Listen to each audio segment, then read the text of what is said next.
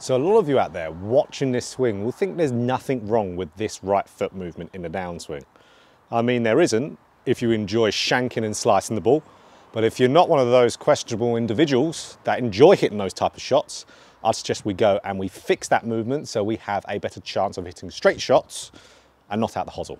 So, I'm Jonathan Chown with J Chown Golf. Let's dive right into it.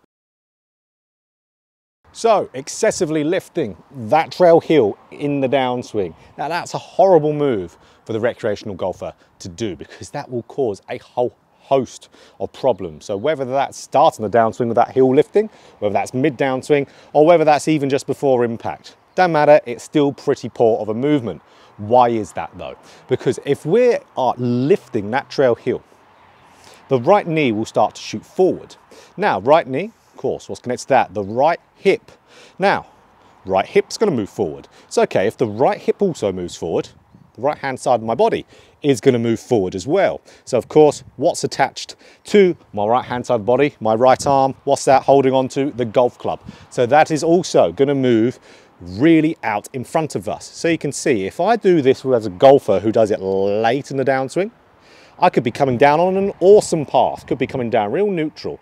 And if I do this, you can see, whoop, I've gone right outside the ball line and I am going to hosel the daylights out of that golf ball. So it diverges the club and brings it on the outside of the ball line. I've seen many times in lessons of players, even on into out paths coming in the downswing, and then their right heel will start lifting off. Maybe they're trying to drive their right side into that golf ball, which a lot of players are trying to do. And then they start diverging it out and they go out to in last minute. They'll have an into out path for three quarters of the downswing, but then if they were measured on a TrackMan or any other launch monitor, he'll be reading that they're out to in. It's because they're lifting up their trail heel and then they'll actually be properly slicing it. So not like push slicing for an inside golfer, an out to in slice.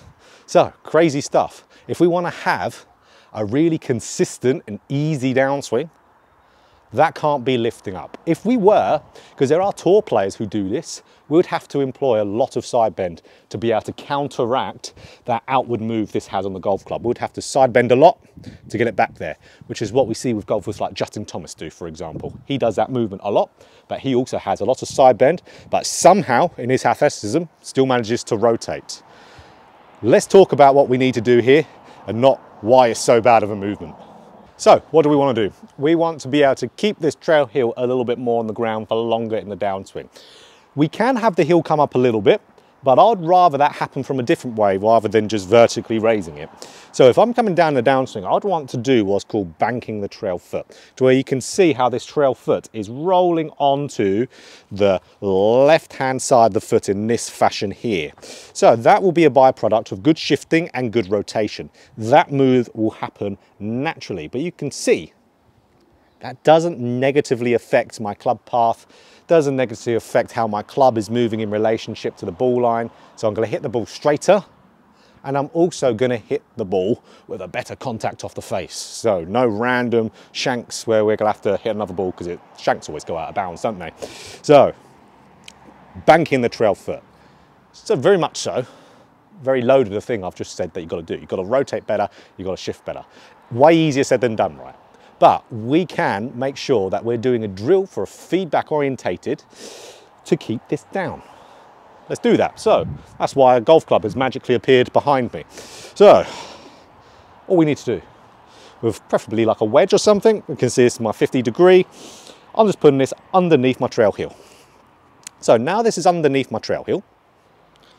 I just need to keep it there until post impact and then I can let it go.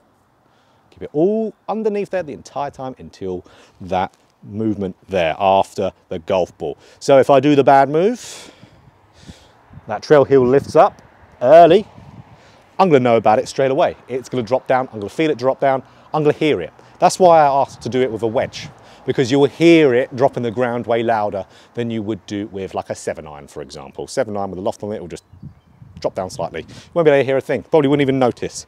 So wedge underneath my trail heel and I want to drop it post impact. So post impact. There we go. So that's our goal. What I don't want to do is I don't want to do one of these two things. So like we said, I don't want to drop it really early. Don't know how I managed to still hit that fairly central from that. But you can see that drop fairly much in the middle of my downswing. And I also don't want to do this. Keep it there the entire time because I'm not going to be turning. I want to drop it post impact. If we can do that, we will be having more of that banking movement of the trail foot. This is a good thing for a lot of golfers just to practice in general because it's very, very rare I ever see from lessons that a golfer does that quite well. Now, like we said, it's a byproduct, banking the trail foot, this movement of rotation and shifting, but we can train the movement to happen through self-organization with a drill like that with the club underneath the foot. So I kind of recommend all golfers to have a little practice with this. The more drills you can have a little practice with just to understand the body movement, the better, because that increases your golfing IQ. So, absolutely, let's do this. And then we'll not be hitting here and we'll not be slicing the golf ball if it's our problem, of course. So if you like this video, of course, click that like button if you want more golf instruction, just like this. Hit that subscribe button, hit the bell button too to be notified every time I put out a video. So, bank that trail foot, you'll be playing better golf.